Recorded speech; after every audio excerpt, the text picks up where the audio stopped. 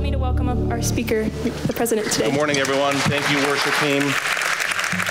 And thank you for that last song you selected, Tate and team. Um, we'll, we'll be speaking about a little bit of that this morning. But welcome. It's great to see you all. Thanksgiving is almost here. That was weak, weak. Thanksgiving is almost here, right? So we're all getting ready for the Christmas around the corner. This Friday night, I know there's a special Thanksgiving meal in, in the dining room. Yes. I'll be carving turkey. I give the most generous portions. You can line up. It's great to see you all, all of you here this morning. I have to share with you, my, my heart has been burdened through a, a number of conversations I've had in the last few weeks with, with brothers and sisters of faith and my heart's been burdened for them. I've had some really intense conversations of young men and young women who are struggling with their faith.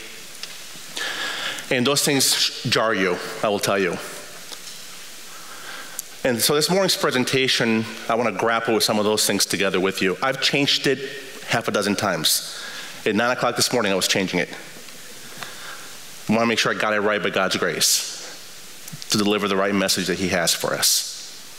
So please join me in prayer, please. Father, we thank you for this beautiful place you've given to us. You know, thank you for every student that is here, faculty and staff that is here this morning who was able to attend. And Lord, we pray together that you, Father, would have your way in our hearts. Lord, that you would strengthen us, Lord. We cannot live for you without your grace. And we pray for strength, Lord. I pray for our students here that you would encourage each and every one of them. I pray for our faculty this morning, our staff. Please encourage each and every one of them, Lord. As we wind down a semester, as holidays are upon us, as many questions still linger in our hearts and minds about so many things in our lives and the lives of those whom we love, we pray, Father, for clarity and guidance and direction and faithfulness for you and to you. That's our prayer. Give us wisdom this morning, Father. In Jesus' name, amen. So we've just been through an election. Some of you maybe thought we're going to get away and not talk about it, but I said I've got to, I've got to mention it. Because this election was a significant waypoint in our country, and a significant waypoint for us. So, regardless of whether your side lost or won, I want to talk about how we react to these things. It's part of a larger question about how we react and navigate our life. So, maybe you're on the winning side and you're cheering, you're still cheering today. Maybe you're on the side this mourning, and you're grieving, concerned, or maybe you're in the middle and you don't care. All of these things betray something about what we think about life, don't they? How we act and react to these major events in life illustrate sort of the mental maps that guide our, our life, the choices we make, the things we choose to affirm or to grieve over or to be angry about. And I've asked myself a question, not just about our country, but ourselves in my own life. And I've asked this question with individuals I've spoken since that time who are grieving not about the elections necessarily, but about grieving about life. I had a conversation on this with a young man who said to me, Life is hard. And wrestling with faith. So I've asked myself this question how do we know we're headed in the right or the wrong direction in how we live our life? How do we know that?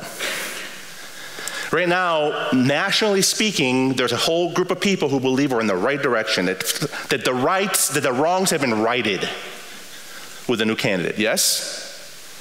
There's a whole other group of people who think, no, no, no, we're in a terrible direction now, it's even worse than ever. And there's a whole group of people who also say, Leave me alone. Don't want to talk about it anymore. But how do we know that these choices we make, how we live our life, that we're headed in the right direction or in the wrong direction? How do we know that?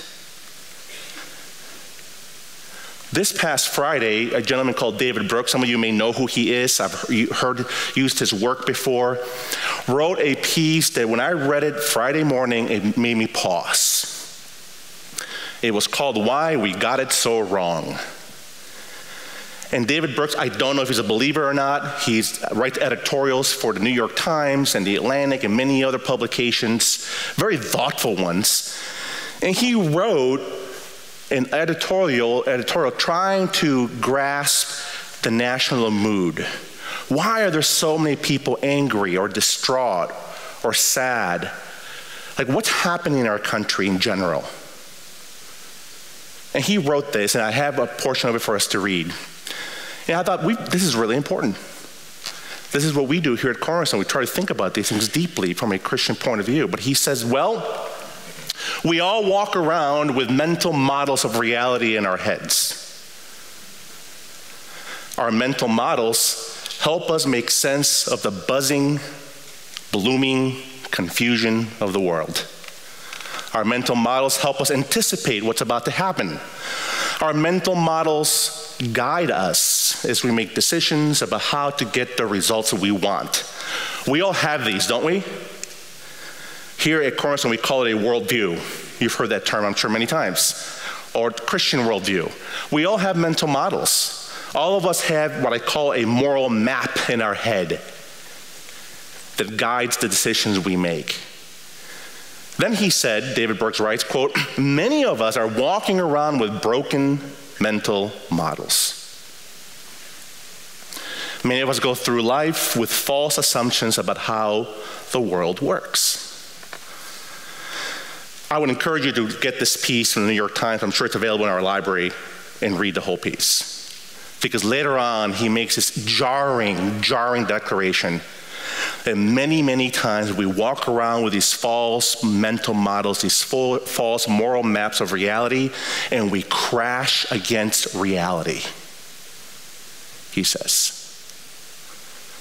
And he believes that a significant number of people just after the election have crashed against reality. And they don't know what to do. Isn't that, uh, isn't that a scary thing? To have a moral map in our heads of how we think life is, how we think reality works, what we think we should expect from reality and from God, and then to be wrong and to live our life making decisions, dealing with successes and griefs, and realize that the mental model in our mind has led us in the wrong direction and we crash. In 1 Timothy 1:19, Paul warns Timothy and actually encourages him and says this, keep your faith. Keep a good conscience, he said. Do what is right and do what you know is right and keep your faith because some have ignored this and have shipwrecked their faith. Paul tells Timothy literally, we're all in danger of shipwreck.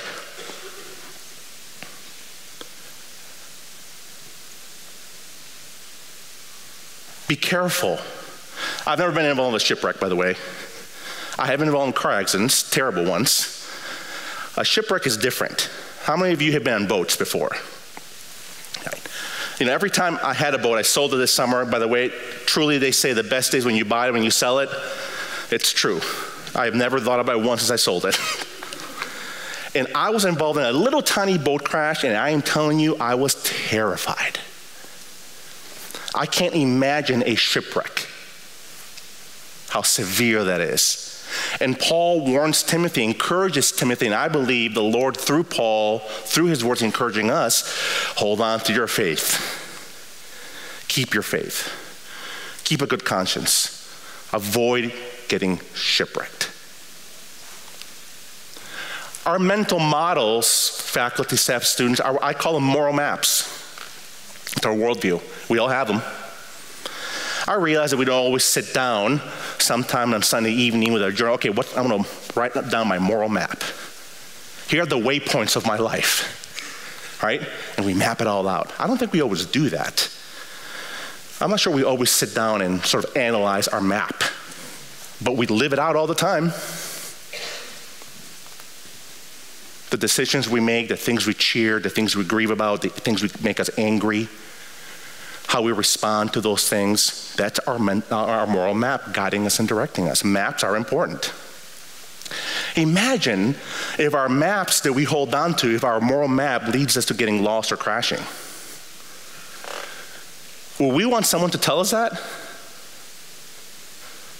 One of the scary things in the conversation I had in the last few weeks with someone who I brought this up to this individual, and this individual looked at me as if he didn't care if he was going to get lost or crash in his life. And that made me realize that the moral map he's using has led him to that hardness, almost that antagonism toward God or life that I don't care if I crash, I don't care if I get lost, as long as I'm the one choosing to do it. That's scary, isn't it? And I wonder if all of us are, have been at that point, or some of us are in that point right now in our life. Maps are important. Here's a course map or a marathon, right? How many have run marathons before? All right, only one. Good. Marathons are hard. I've only run one. I'll never run it again, probably. And I remember having a map. And I remember talking to someone who had ran that marathon and telling, asking this woman, "Give me your insights on this map." And she would say, Well, here, at this point to this point, it is the hardest part of the marathon. Get ready. And she would guide me through it. This is a great map for the Los Angeles Marathon, by the way. It has elevation, so you know where you're going to climb and, and what you're going to go down. You understand all these way marker, you know, all these landmarks and waypoints and health and all those kinds of things. You want to guide, you want to follow this, don't you think? Because the whole point of a race is not just to run the race, it's to finish the race and to finish it successfully, right? When I ran my own one and only marathon, and I got to mile 19, I had cramps in my shoulders, cramps in my legs. I mean, I couldn't, I mean, I was in pain. But I told myself, I have to finish this thing. And I literally just like hobbled for seven miles. And I found other hobblers, by the way. There were many of them. And we all hobbled this way. And then as I was turning the corner, I saw my kids and I started running. I thought, I don't want to see my kids. I don't want to see them see me this way, right? And I made it through. But you got to follow the map. What happens when you don't follow? Uh, what happens if you have the wrong map? Here's a gentleman who, Robert, who is a trail runner and went on a 20 mile trail run with an outdated map and was lost for 30 days and almost died. He said, I lost years of my life in the mountains in Washington. Had a map, had a map, outdated map, because the terrain had shifted. There was a forest fire and brush fire. It, it, the terrain, and thus the map he had was no good. And rather than stopping, guess what he did? He kept going. He said, My curiosity took me a different way. Almost died. That would be terrifying, don't you think? To have the wrong map. Or this gentleman who had, a, who had the right map, Mario is his name. He's an ultra marathoner running a, a race in a desert of all places. Had the right map, but the map could not account for sandstorm. A seven hour sandstorm hit him. Seven hours. And he said that when he got out of the sandstorm, everything was different. And the map was useless. So he survived on urine and raw bats. Now that's a diet. Nine days lost. Had a map, but didn't help him. Right?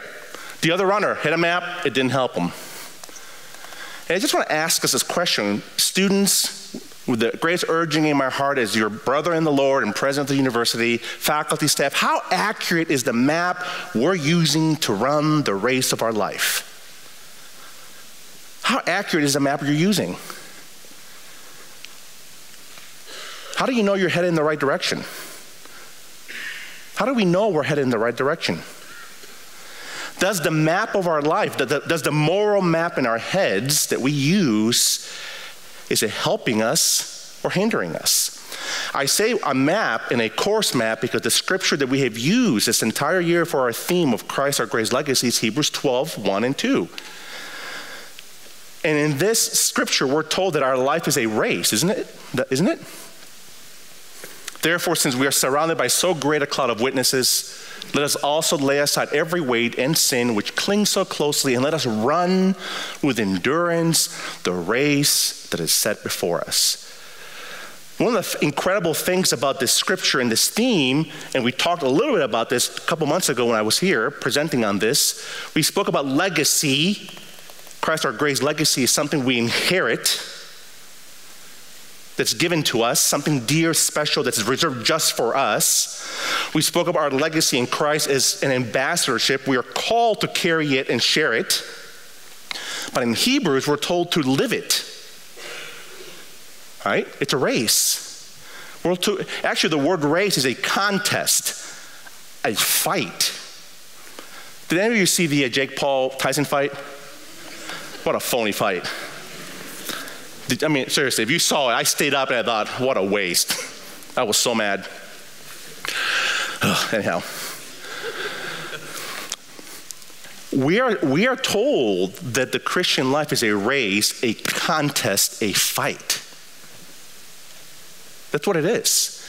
It's not a passive spectator sport. As a matter of fact, if our moral map leads us to be spectators, we've got the wrong map.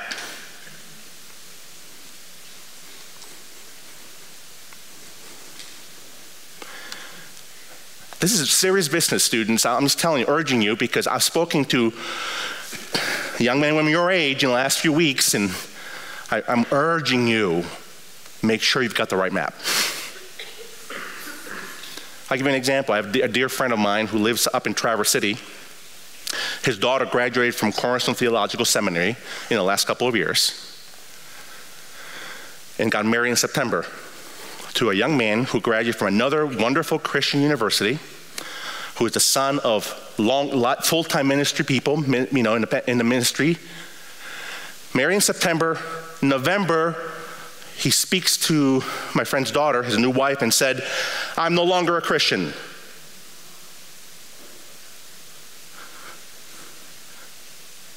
I believe that Jesus is a false prophet. And I think God is unfair and unjust in the way he treats people. I'm not making this up. I triple checked the message I received before I came to tell you this. Imagine the grief of the parents. Imagine the grief of the daughter. She's studying in another, another situa- uh, school right now for ministry. And the man that she married, who she believed was a walking with the Lord, faithful to Jesus, grew up in a ministry family, went to another Christian university, two months after marriage says Jesus is a false prophet. I'm an agnostic, maybe an atheist. God's unfair and unjust. That did not happen in just two months. It's a moral map. It's a map. We have these things in our heads, students moral maps that we follow throughout our life, and our moral maps, as David Brooks, so I don't know if he's a Christian or not, suggests sometimes are false. Sometimes our moral maps are flawed. Sometimes the waypoints in our moral maps take us in the wrong direction. And unless someone calls us out or corrects us, or we seek correction, or we seek clarity, we keep going down the road. We get lost in the mountains for 30 days lost in the desert. In real life, we lose our faith. We become shipwrecked. That's serious business. I urge you, my, my longing for every single one of you here, students here who are not here, is to keep the faith. Do not let go of it. Do not lose it. Now, there are other scriptures in the New Testament that speak about the Christian life as a race. It's not just Hebrews 12. You see in 1 Corinthians 9, Paul says to the Corinthian Christians, Do you not know that in a race all the runners run, but only one receives the prize? So run that you may obtain it. Our Christian life is compared to a race. You've got to have the right map. Then in 2 Timothy 4 6 8, perhaps the, the clearest declaration of the race, but the map is here. Paul writes to Timothy, and Timothy's his son in the faith. If I can put it this way, Timothy's his student. Timothy's his student. And Paul's giving to his student, his protege, advice. Here's what you should be thinking about. And he begins by saying, I'm ready to be poured out as a drink offering. What does that mean, by the way? Anyone? What does that mean? Who, who can hazard a guess here? Students? He's about to die. He's facing his execution. I'm ready to be poured as a drink offering. The time of my departure has come. I'm about to die. So I need to say this to you, Timothy. I have fought the good fight. Waypoint number one. I fought the good fight. I didn't just fight, I've been involved in fights that I've lost. I'll never forget the first time I got punched in the face. Tyson is right. You have a plan to get punched in the mouth. I remember as a kid in the snowball fight getting punched by this kid, and I looked at him and I thought, if I do anything, he'll kill me. So I'll say, I'm sorry, and I walked away. right? That was not a good fight, by the way. Not for me, anyhow. For the other guy, yes. Paul says, I fought the good fight. I didn't just fight, I didn't just struggle. I fought a good fight. I finished the race. Waypoint number two. I finished it. Waypoint number three, I've kept the faith. I've guarded my faith. I've hung on to my faith. I've contended for the faith. And then he says, because of these three things and one more at the end here, henceforth there is laid up for me a crown of righteousness which the Lord, the righteous judge, will award to me on that day. And not only to me, but also to all who have loved this appearing. That's waypoint number four. I love, Paul says, the reality, the truth that Jesus can come back at any moment in time. And I live in the light of his return. Waypoint number four. If I were to put the, the map that Paul is giving us, the right map for our life, I would say those are the key four waypoints. I can add a few more, but I think these get him fight a good fight. Students, the Christian life is not Sunday school picnic. It's a life of, of fighting a good fight, and it's a fight, a spiritual one, of prayer, of obedience, of sacrifice for the Lord and for others. And Paul says, I fought the good fight. I've finished the race. It's one where you persevere until the end and you don't drop out and quit. And you and I are going to find all kinds of reasons in life to quit. You know that? We'll talk more here in a moment about that. And I've guarded my faith, like I've protected my faith. It's precious, it's a legacy. I protected it. So, life is a race, yes. The great thing about this race is everyone can win. Right? In a marathon, it's only one winner. I mean, you can finish, but you're not the winner if you don't finish first. Right?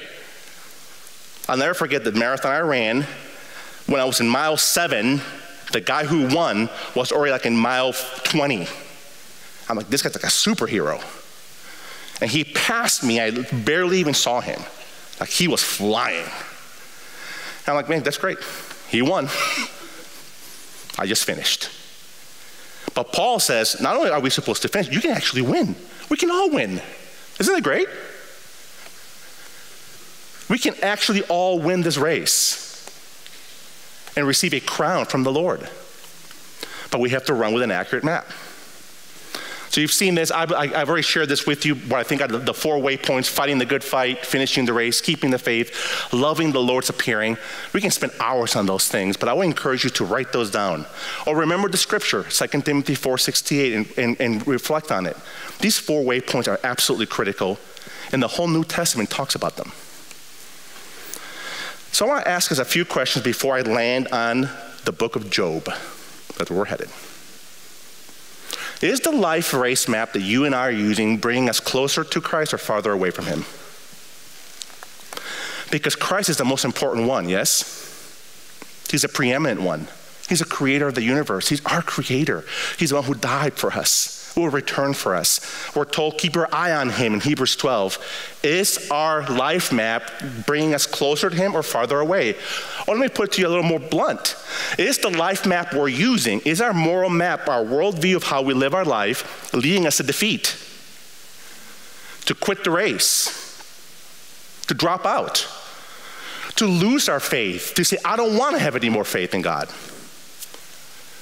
Or to ignore his coming or hate his coming. I'm, I'm convinced that, that some of us in this room are struggling with these very deep questions that we just don't tell anybody because we're afraid to tell people because we don't know how to tell people these things. In the conversation I had two weeks ago with a young individual who said this to me, I will tell you, I was both terrified at the same time and happy. It's a weird feeling.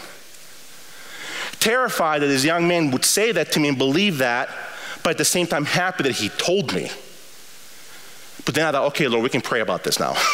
we can talk about this. We can share it out in the open now. So if you're wrestling with this, students or faculty or staff, because any of us could wrestle, you, I mean, I'm 53. You can be 80 and wrestle with this stuff. Please talk with someone. Tate, a faculty member, Kevin Hall, myself, anyone, to pray with you to talk with you so that you stay on course and keep the faith. I want to land here in the book of Job. I've got about six minutes or so.